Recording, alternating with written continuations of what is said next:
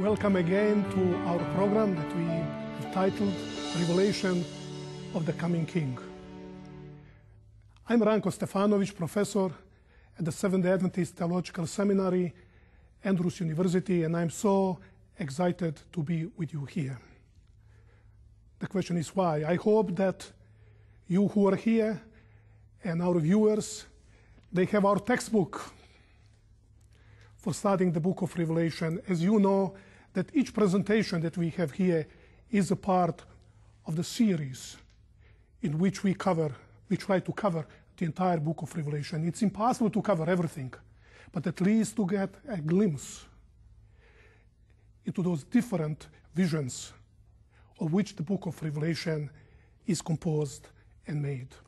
So I would like to encourage you to have this textbook with you I'm in love with this book because I know through this book God changed my life. And the book of Revelation had a special, special role in my conversion. When I discovered, when I found Jesus Christ through that book, you understood it already that it was the revelation of Jesus Christ. Actually, I fell love in Him, and He's the first and last in my life. As you know that all our lectures are not the complete coverage of the book of Revelation. So we would like to encourage you to study the book of Revelation once this presentation is over for yourself.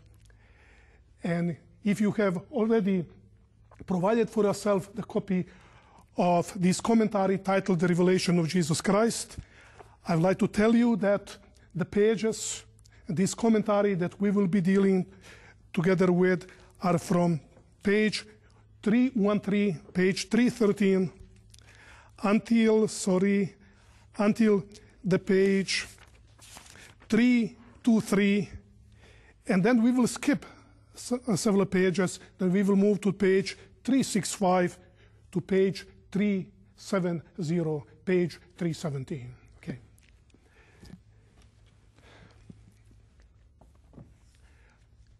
As every time we have done it, I'd like to invite you once again that we ask the one who is the greatest expert in the book of Revelation. He knows everything about that book.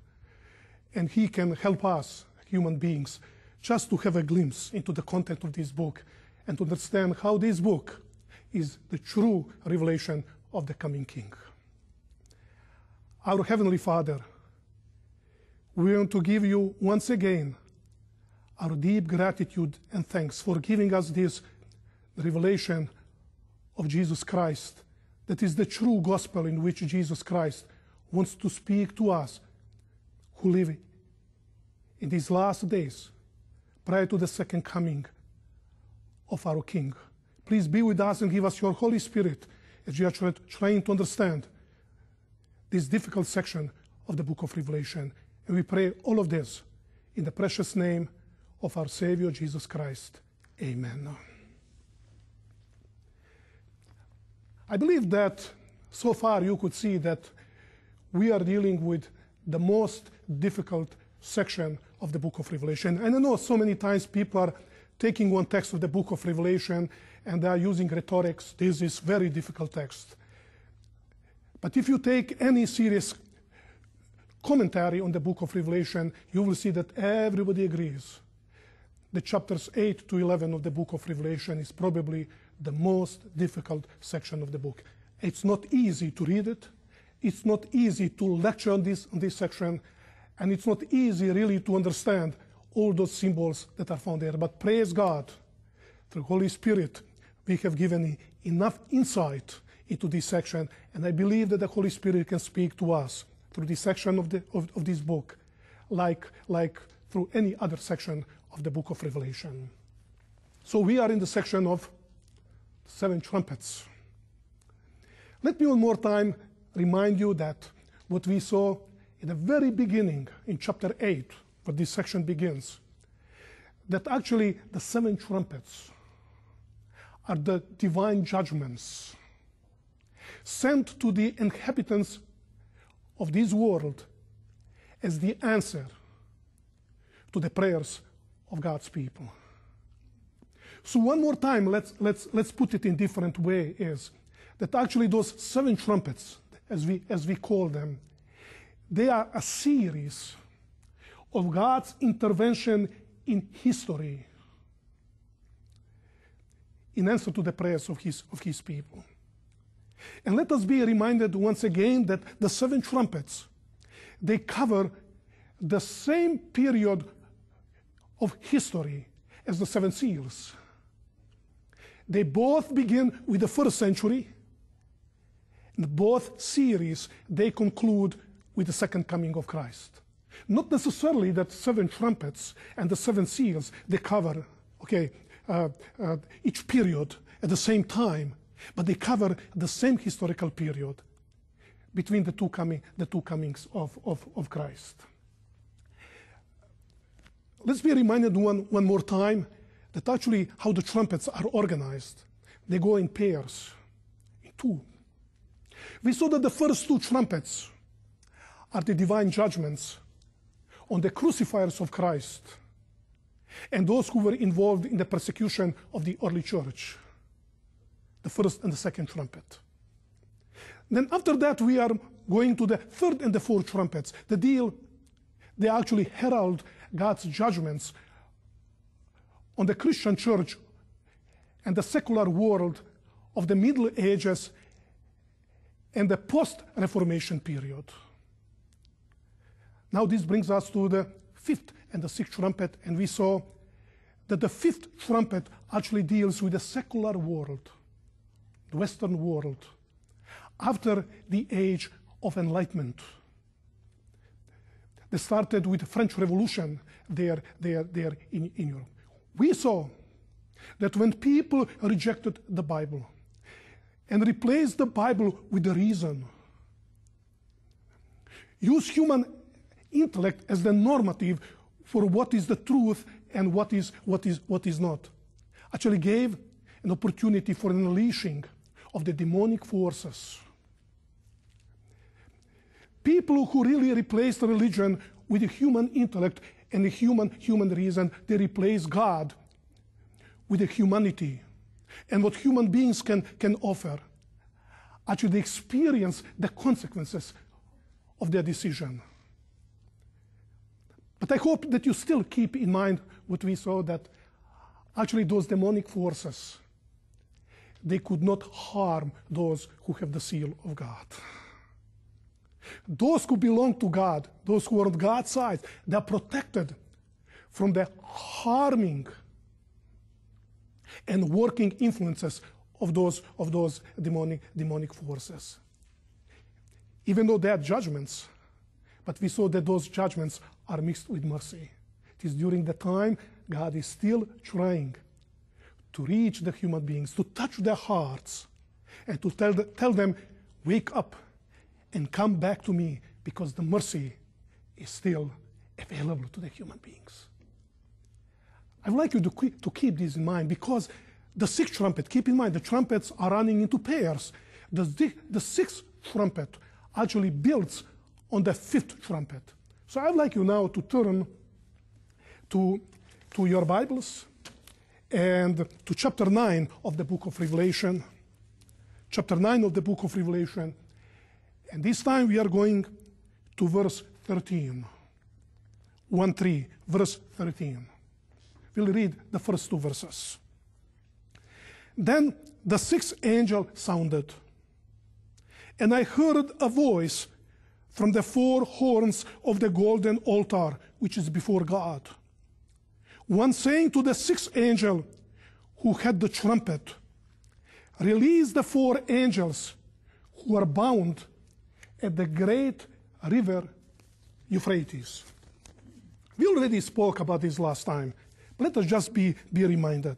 So, when the sixth angel, okay, blows his trumpet, John hears a voice coming from the golden altar of incense.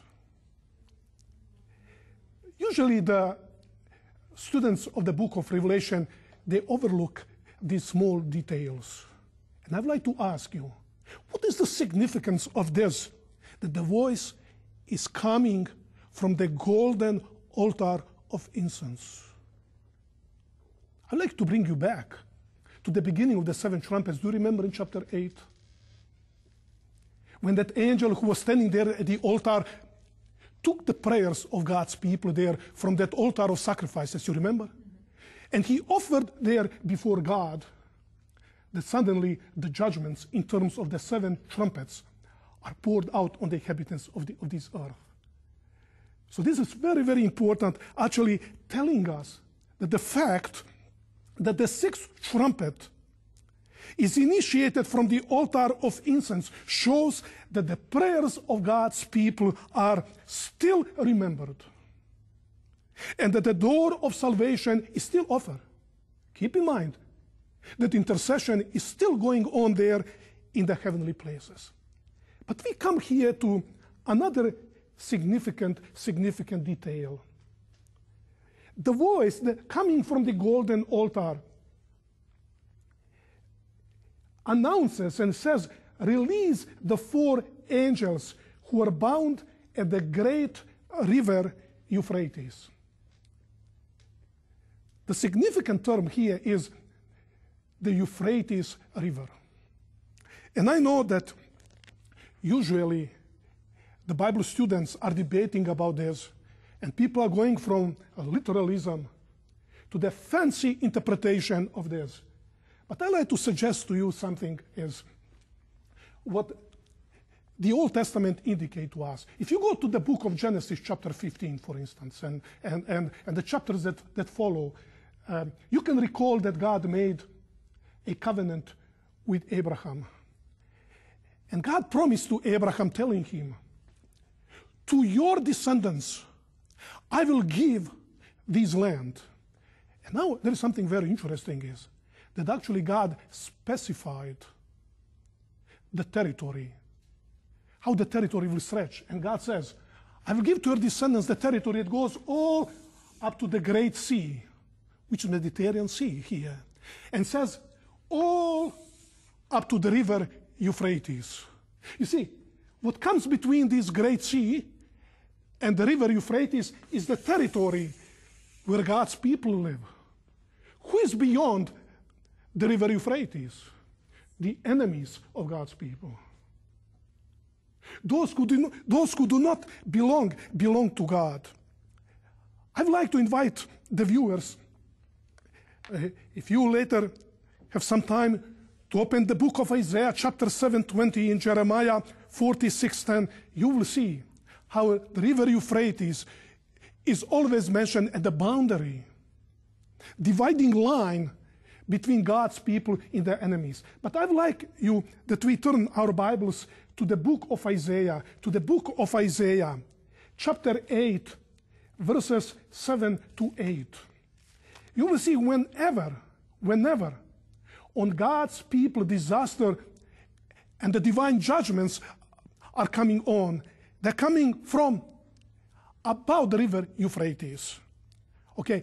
And so many times, those enemy nations that are coming from the uh, uh, river Euphrates, they are described as the overflowing waters of the Euphrates, um, uh, sweeping Palestine and destroying God's people. Please, Isaiah chapter 8, chapter 8, we will read verses 7, 7 to, to, to 8. Just one, one verse, uh, uh, one biblical text. It says, Now therefore, behold, the Lord is about to bring on them the strong and abundant waters of Euphrates. Even the king of Assyria, who's coming from Mesopotamia, because this territory was called Mesopotamia between Euphrates and Tigris. Mesopotamia means territory between the two rivers. Mezzo between and Potamos means river, territory between, between the two rivers. Okay, and says, I will bring the king of Assyria, and it will rise up over all its channels and go over all its banks. Then it will sweep on into Judah. It will overflow and pass through. I will reach even to the neck, and the spread of its wings will fill the breadth of your land of Emmanuel. You can see here on, on typical biblical text from the Old Testament. They're telling us really what it means when the river Euphrates, okay, overfloods uh, Pal Pal Palestine.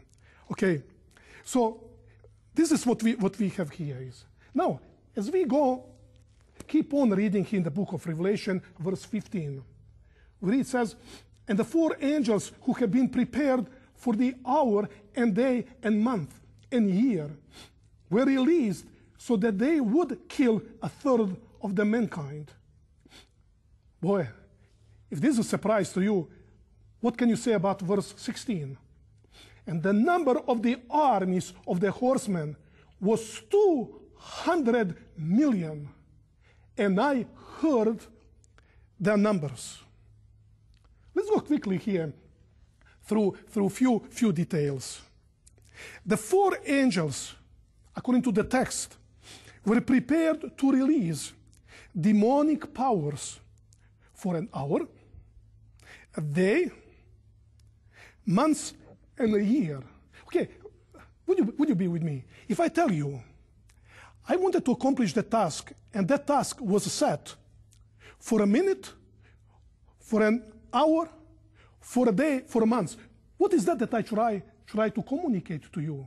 That when a appointed time, okay, when appointed point of time was set for the accomplish, accomplishment of this, of this task.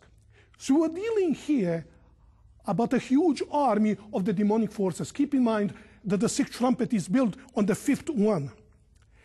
And the task of these demonic forces was to kill one third of the humanity, as we will see. By the way, if we go to verse 18, we'll come to this text. We see there clearly that it, it was not actually the angels who are doing this killing, but the demonic forces. But the demonic forces, evidently, okay, are not allowed to begin the harmful work until the time that was appointed to them by, by, by God. At the sound of the sixth trumpet, the restraining angels are ordered to unleash the demonic hordes to kill one third of the humanity. Now, there are few here, there are few details here that really we should look very, very carefully is.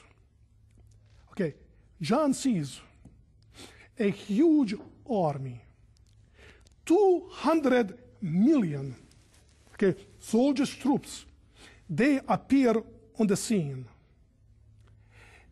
And he uses here an expression in verse 16, and I heard the number. Are you familiar with this expression? And I heard the number. Have you met already this phrase before? It's in chapter 7, where we have 144,000. It is only in chapter 7 and chapter 9, verse 16, in the entire book of Revelation, that this phrase is used here. But there is some, something, something more. So, so the conclusion is that this huge army, 200 million, stands in contrast to 144,000, those who are sealed, who belong to God, those who are the last generation of God's people living before the second coming, the second coming of Christ. The demonic locust that are inflicting human beings in the fifth trumpet, and they were not allowed to kill anybody. Now you can see here that the situation completely changes. Now they are really killing. They do killing. Something that did not happen in the scene of the fifth trumpet. Okay, now they both kill and inflict those who are, who are alive. Before we draw similar, uh, a line of similarities between chapter 9 and chapter 7, we would like to see just in a few moments the way how John describes these demonic forces. You will notice here, as you go here through the text from, from verse 17, that actually John has a hard, a hard time to describe these forces. The language is lacking, okay? He has a trouble to, to describe them. And, and please, I'm, I'm going here through my notes instead to the text just to summarize it here. It says that the riders on the horses have a fiery red, smoky blue, and yellow breastplates, the reflection of the fire, smoke, and sulfur. emanating from the horse's mouth. This is, this is very unusual picture. Because the appearance of these horses is very terrifying. The purpose of this vision is to communicate to the readers of the book of Revelation something very, very significant. The heads of these, of these, of the, of the horses of this army is like of lions. And out of their mouth comes fire, smoke, and sulfur, by which they kill human beings in vast numbers. Let's stop here for a moment. If we go to the Old Testament, we will find that the fire, smoke, and sulfur are usually a means of executing the divine, the, the, the, the divine, the divine ju uh, judgments. Is are many biblical texts pointing to that. I'd like you to turn to the book of Ezekiel, chapter 38, verse 22. The book of Ezekiel, chapter 38, chapter 38, just, just that, you, that we see how in the Old Testament language provides for us the key for the understanding of what John saw here in the vision. So Ezekiel chapter 38, verse 20, 22, okay? It says, with pestilence and with blood, I will enter into the judgment with him, and I will rain on him and on his troops, and on the many peoples who are with him, torrential rain, with hailstones, fire, and brimstone, which is sulfur. Okay. The same we can find, let's go one, another text, which is Psalm 11, Psalm 11, verse, verse 6. Psalm 11, we read verse, verse 6. Upon the wicked he will rain snares, fire and brimstone and burning wind will be the portion of the cup. These are just few texts which explain to us, telling us that the combination of these elements, a fire, smoke, and sulfur, points to God's judgment. May I ask you one question is, when we talk about this, but God's divine, the divine judgments falling on the wicked, described in terms of these three elements, what the scene suddenly comes to your mind from the Old Testament? Yeah, you're right if you're thinking about that. Is the destruction of Sodom and Gomorrah there. This is, these are just, just insight. There in my commentary, you have many more texts. And you can study more for yourself by telling us that here, in the scene of the sixth trumpet, we are dealing with the divine judgments. But in order to describe this judgment, the inspiration uses the language of the Old Testament, or the execution of the divine judgments on the wicked in the, in the Old Testament times.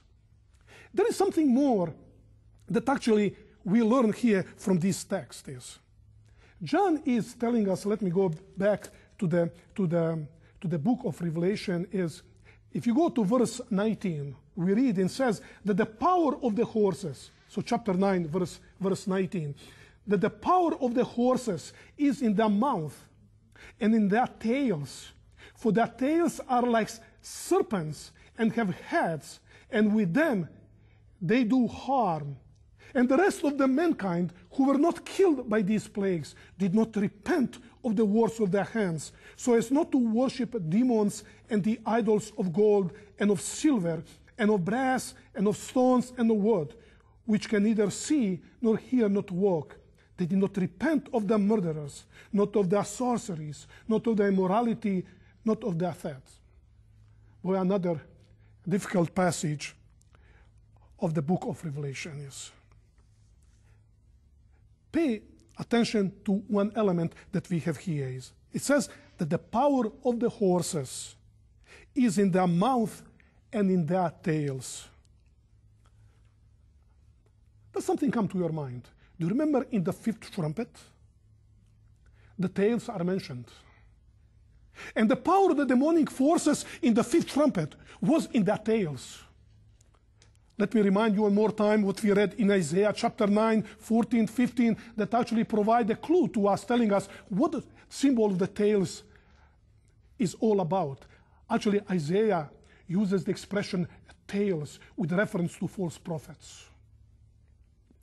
who are replacing the word of God for their inventions and for the lie that they try to preach to preach people. So while in the uh, fifth trumpet, the tails of the demonic forces inflict the plague on the inhabitants of the people, that, that people suffer in anguish to the point of death. We see that here in the sixth trumpet, the harm is not really with the tails, it's with the mouth. In the mouth, they are killing the inhabitants, the inhabitants of this world. Now there is a question. What does the mouth stand as a symbol of? By the way, we really do not need now to go to the Old Testament because there is one text that really parallels the scene of the sixth trumpet. It's Revelation chapter 16. And I would like you, if you can turn with me to Revelation chapter 16, where we have the mouth as the weaponry, okay,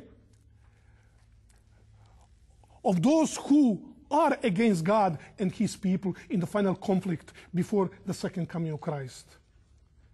It's Revelation chapter 16 from verse 13.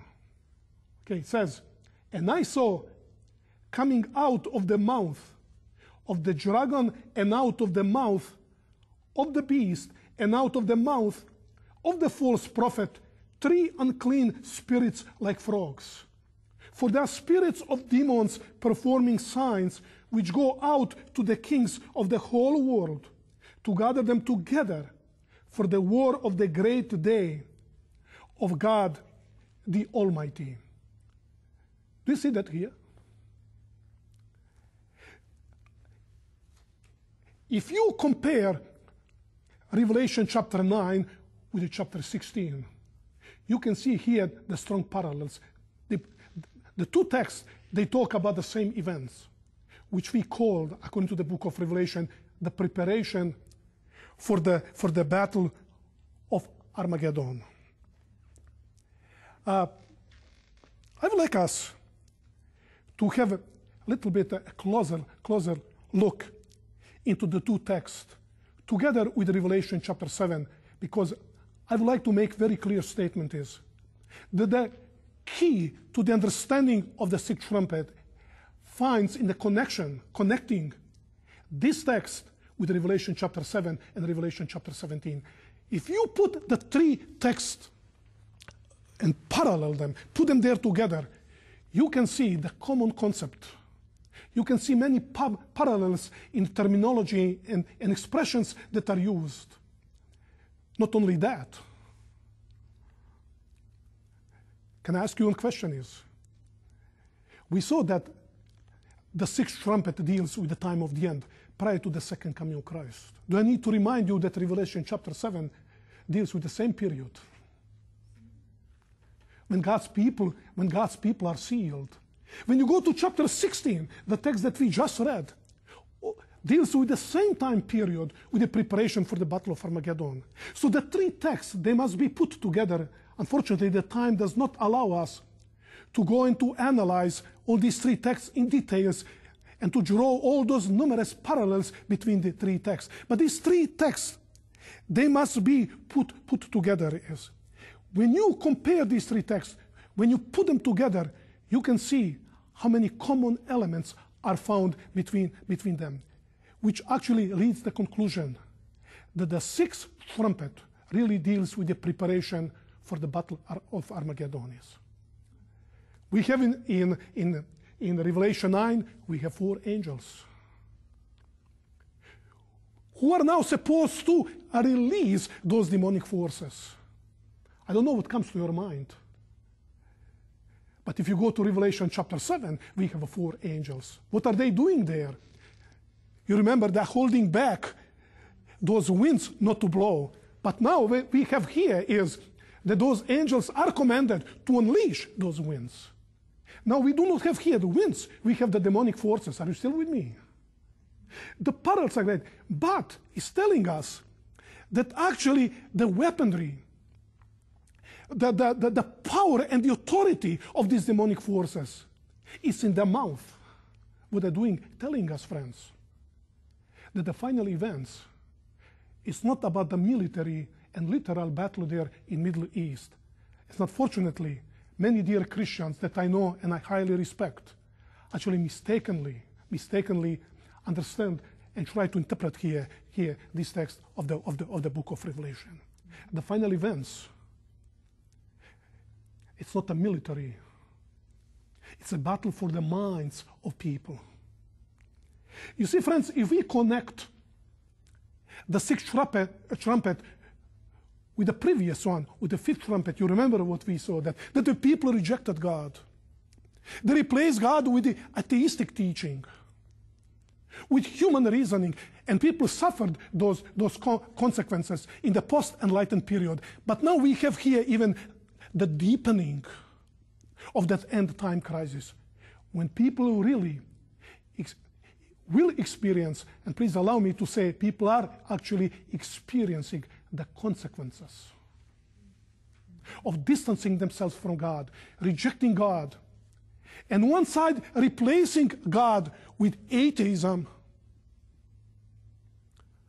And human teaching, human in, uh, uh, intentions and explanations to the other side of people who are simply taking religion of emotions, replacing, by, uh, uh, taking it to replace the clear teaching of the gospel and the message of Jesus Christ that touches the hearts of people and the minds of people in order to, to communicate that message who actually we as human beings are and what God wants to happen in us. Simply replacing it with a religion of emotions, nothing else. And taking from the hearts of people that clear gospel message that is based really on that loving God and his attempt to bring the human beings to, them, to themselves. So the sixth trumpet really brings us to the very, very time of the end. It's telling us about the preparation for the battle of Armageddon. As God, by sending to the inhabitants of this world his everlasting gospel, which is in Revelation chapter 14 portrayed, we will come to that text as the three angel messages, where God is calling people to fear Him and to worship Him, God who created the heaven and earth and everything that is, that is in, the, in, the, in, the, in, the, in the universe.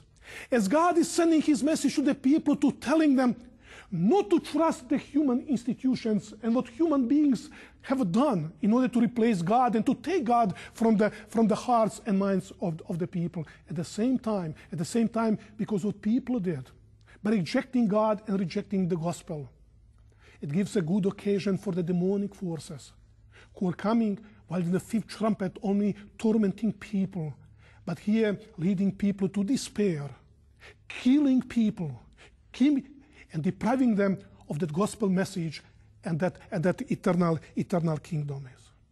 Yes, according to the Bible, according to the Bible, to the Bible, what people have decided, people reap the consequences of the decisions. But praise God, this is not the main message of the book of Revelation. Fortunately, wherever I go, I find people who read the sixth trumpet, and everything they read, everything they try to find is how many people will be killed. Friends, the book of Revelation is not about killing. Yeah, it is there. Whether physical or spiritual uh, killing. That's not the point here is. But the main point is that God even wants to, to save those people and that's why he's sending to, the, to them his everlasting gospel, as we will see when we reach there, Revelation, Revelation chapter, chapter 14. Unfortunately, I would like that this vision has different ending than it is here. What is, what is the conclusion of this vision? Sorry, let's go back to Revelation chapter 9. It says, And the rest of the mankind who were not killed by these plagues did not repent of the works of their hands so as not to worship demons and the idols of gold and of silver and of brass and of stones and of wood, which can neither see nor hear nor walk.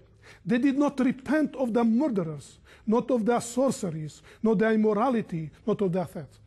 If you go to Revelation chapter 21, chapter 22, you will see that all these sins that are listed here characterize those people will not be able to enter New Jerusalem. Yes, the modern world has made so many idols and man made religion that replaced God and actually took God and the gospel message from their hearts. The message of the sixth trumpet is a warning message to telling people that their only hope is in God. That's actually the purpose of the three angel messages of chapter 14. God is sending his message, calling people back, telling them that their only hope is in God and in the gospel. Unfortunately, the conclusion of this message, how many people will respond to that call of God? Not too many. Not too many, unfortunately. But praise God. As we will see in our next presentation is during this time, God will have his people. Amen. Unfortunately, they will not be the majority. They'll be the minority. But God will have his people who will choose God, put God, and give him the place number one in their hearts and in their lives. And this is actually what Revelation chapters 10 and 11 is all about. Because you will notice here something, something very, very interesting. Please, can you look there in the text? So far, we, we covered the sixth trumpet. Okay, okay, are you, are you with me? The first angel sounded the trumpet. The second angel, the third angel, the fourth angel, the fifth angel, the sixth angel. What do you expect now next? But is it so? You'll now notice in chapter 10, then in chapter 11, there is no the seventh angel. We have to wait until chapter 11. Chapter 11, verse 15. There is an interlude inserted between the sixth and the seventh trumpet. But in order to bring the trumpet series to its conclusion, I'd like to suggest to you that we move to the seventh trumpet. In our next two presentations, we will try to understand what we have in this interlude in chapters 10 and 11. Do you agree with me? Let's bring seven trumpets to its conclusion. So please, can you go to chapter 11 to verse, verse 15? Okay? Let's see about the seventh trumpet. Then the seventh angel sounded, and there are loud voices in heaven saying, Okay, can you help me? What time period historically does the sixth trumpet portray? The time prior to the second coming of Christ, the preparation for the battle of Armageddon. Can we say the time in which we exactly live today? We live today in the time of the sixth trumpet. So, the seventh trumpet, it must come after that period. It brings us to the very second coming of Christ. So please keep this in mind. So the seventh angel sounded, and there loud voices in heaven saying, The kingdom of the world has become the kingdom of our Lord and of his Christ, and he will reign forever and ever. And the 24 elders who sit on the thrones before God fell on their faces and worshiped God, saying, We give you thanks, O Lord God the Almighty, who are, who were, because you have taken your great power and have begun to reign. Did you notice here one element in verse 17? Let me go back. Let me go back. It says, We give you thanks. Are you there? We give you thanks, O Lord God the Almighty, who are and who where? Because you have taken your great power and he began to reign. Did you notice here something very, very, very unusual? Did you notice before in the book of Revelation, how does God identify himself? The one who was, who is, and who is to come. What do we have here in this text? God who is, who was, what is lacking here? What is missing here? Why? Because he has come already. You see, the seventh trumpet brings us to the very, very moment of the second coming of Christ. And you can see here, you can see here in this text, it says, verse 15, that the kingdom of the world has become the kingdom of our Lord and of his Christ. And he will reign forever and ever. Let's go to verse 17. Verse 17. We give you thanks, O Lord God the Almighty, who are and who were, because you have taken your great power and have begun to reign. Did you notice here? Mm-hmm. Evidently, the, the seventh trumpet is probably the easiest to interpret. Finally, I can say it with little bit easy attempt to go and to see what all these elements are all about. So the sounding of the seventh trumpet signals the conclusion of this earth history. The proclamation of the gospel is complete, and the case of every person is decided. And now the voice from heaven makes declaration of the ultimate establishment of God's kingdom on the earth. This rebellious planet that has been under the dominion of Satan for many thousands of years will finally come back under God's dominion and rule. And I don't know what suddenly comes to your mind, Amen. but to my mind comes that famous text from the book of Daniel, chapter 2, verse 24. You know this text that in days of those kings, the God of heaven will set up a kingdom which will never be destroyed. And that kingdom will not be left for another people. It will crush and put an end to all this kingdom, but it will itself endure forever. Yeah, finally, we have the fulfillment of this prophecy from the book of Daniel, chapter 2. Let us be reminded of something that we talked before. It was after his death on the cross and his subsequent ascension to heaven that Christ was recognized as the co ruler with the Father over the universe. The usurper, Satan, was kicked out from heaven, and Christ was proclaimed to be the true ruler of the earth.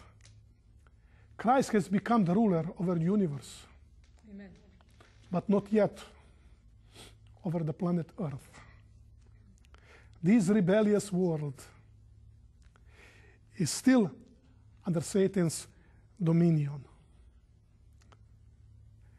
We saw in Revelation chapter 5 that Jesus, at the day of Pentecost, he started his rule as the co-ruler with the Father there at the day of Pentecost. You remember we talk about that.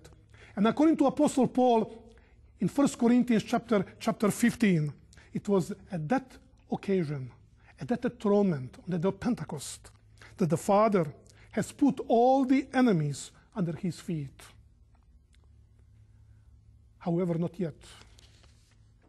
According to the same text, 1 Corinthians chapter 15, Paul is telling us that Christ has to reign in the midst of his enemies.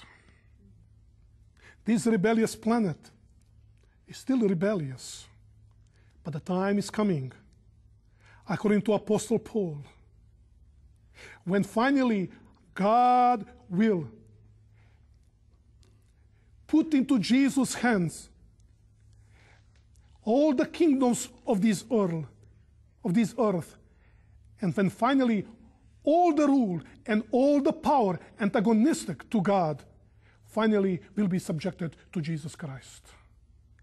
But that day is still in the future. We are waiting for the day. And here, in the vision of the seventh trumpet that the long awaited day finally has come. And Jesus began to reign with a great, great power and a great authority. Yeah? The seventh trumpet brings us to the very time of the second coming of Christ. But you will notice that the book of Revelation does not conclude with this section. It just concludes one section, but brings us to the last one, which is the eschatological one. Bring us really to the time of the end. And I would like you some, some if you can go with me to verse 18. Because at this point, verse 18 is very, very important. Keep in mind, Revelation 7 brings us to the end, but the end is not yet. Okay? Verse 18 And the nations were enraged, and your wrath came. And the time came for the dead to be judged, and the time to reward your servants, the prophets, and the saints and those who fear your name, the small and the great, and to destroy those who destroy the earth. In this text that we have just read, actually we have the outline of what the last 11 chapters of the book of Revelation are all about. Chapter 11, verse 18, in a nutshell, give us the entire content of the last 11 chapters of the book of Revelation. Are you still with me? So, if you really want to learn what the last 11 chapters of the book of Revelation are all about, just read verse 18 of chapter. Of chapter. Let, let me put it this way. What is the first phrase? It says, The nations were enraged. Okay. Why are the nations enraged? We will see very, very soon that in chapter 12, verse 17, Satan becomes enraged. Then he associates himself with the two beasts that represent political powers, gathering all the um, nations of the earth from themselves who become enraged. Why? Against God and his people. So, really, these nations were enraged. The background of this text is in Psalm 2. Actually, it's elaborated in chapter 13, then going also chapters 14, 15, and, and 16, telling us about the nations that are enraged in that anger and rage, they're preparing themselves for the battle of Armageddon. Then he says, Your wrath came. Where do we have that the wrath of God has come? If you go to Revelation chapter 15, verse 1, uh, verse 1 so chapters 15 and 16, we read, Then I saw another sign in heaven, chapter 15, verse 1 great and marvelous, seven angels who had seven plagues, which are the last, because in them the wrath of God is finished. Here he says, Your wrath has come. You see, the seven last plagues are the expression of the wrath of God upon the rebellious humanity who have sided with Satan, have received the image of the beast, and they're eager to destroy God's people. You see that? We have now the content of chapters 15, 16. And now he says that the time for the dead uh, to be judged. Where do we have the judgment over dead? Of course, Revelation chapter 20, after the millennium. But keep in mind that the judgment has two aspects. It has the positive and has a negative. In chapter 19, God's faithful people are vindicated. They are judged rightly before God. And now they're in the kingdom of God. They're portrayed as the bride waiting for the bridegroom to come. It's the wedding supper, supper of the Lamb. But then we have the negative aspect of that judgment. And which is the negative aspect? Is to destroy this, the destroyers of the earth. Please allow me, we have a few minutes left. And I, will, I would like just to take this remaining portion of time, these few minutes that are left, just to deal a little bit with this phrase, to destroy the destroyers of the earth. And I just want to show to you how it's so easy that we take one phrase from the book of Revelation or one text of the book of Revelation and read all kind of different ideas that we, that we have there. For many people, Revelation 11, 19, the destroyers, to destroy the destroyers of the earth, that these texts refer to the ecological concerns, this, uh, the earth being destroyed by modern technology. You probably heard about that, that interpretation.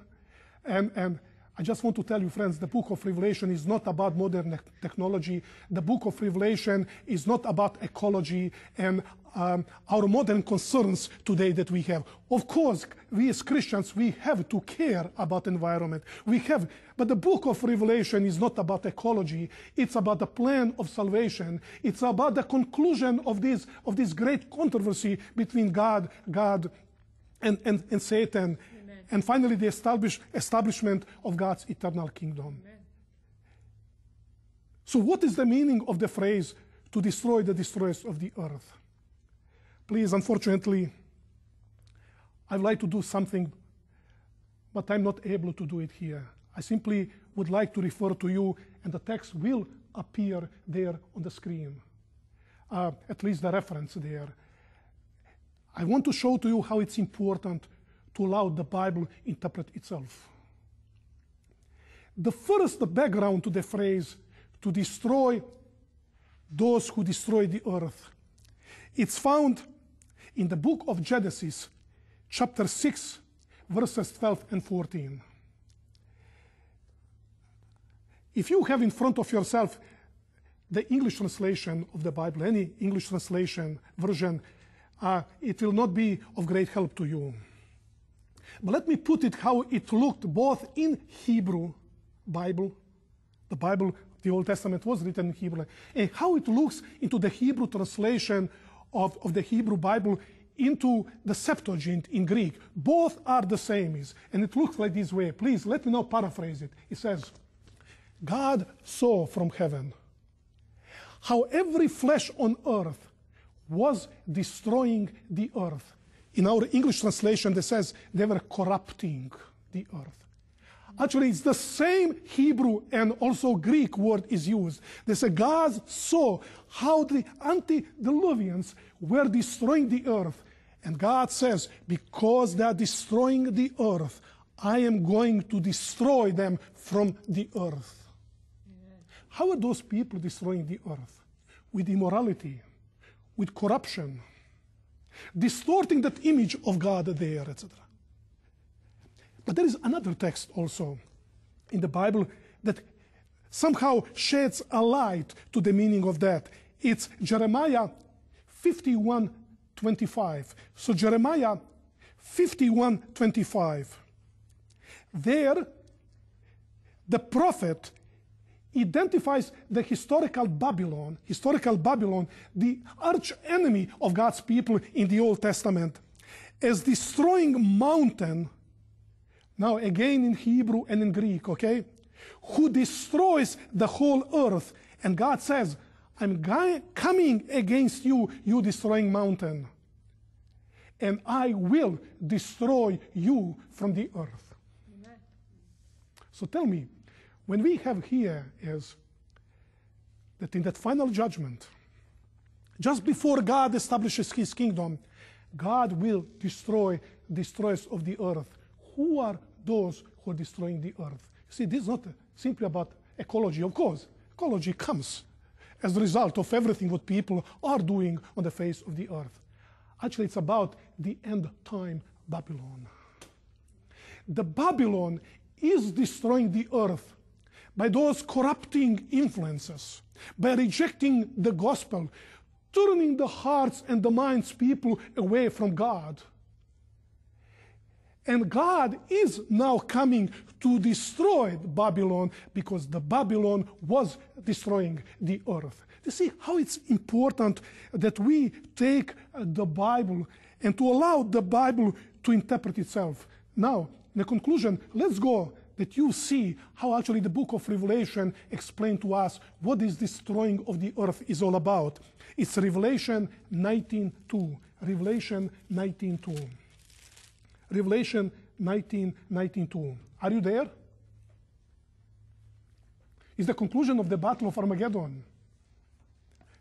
You remember we just mentioned it's about those judgments of God. Positive judgments on his people and negative judgments on the enemies of God's people. So Revelation 19, verses 1 and 2. And after these things, I heard something like a loud voice of a great multitude in heaven saying, Hallelujah, salvation and glory and power belong to our God. Please pay attention now because his judgments are true and righteous, for he has judged the great harlot who was destroying the earth with her immorality, and he was avenged the blood of his servants on her. Who was the entity that was destroying actually the earth? You see, that is the great prostitute Babylon that we will meet and discuss about and to deal with when we come to Revelation chapter 17. It's a Babylon. It's Babylon is the entity in the book of Revelation that destroys the earth. If you go to Revelation chapter 18, verse 5, we have the destruction of the earth by Babylon. It says, For her sins have piled up as high as heaven, and God has remembered her iniquities. It's about a Babylon. It's a Babylon that destroys the earth. Yes, it is with the seventh trumpet finally the prayers of God's people there at the altar, underneath the altar, calling upon God and asking for the vengeance and vindication finally will be, will be answered. This is all what we can say about the seventh trumpet. Yes, we, we have a wonderful God. People are reaping the consequences of the decision, but God still wants to save human beings. He saved me. Amen. And dear viewers, He wants also to save each one of us. May God be with you. Amen.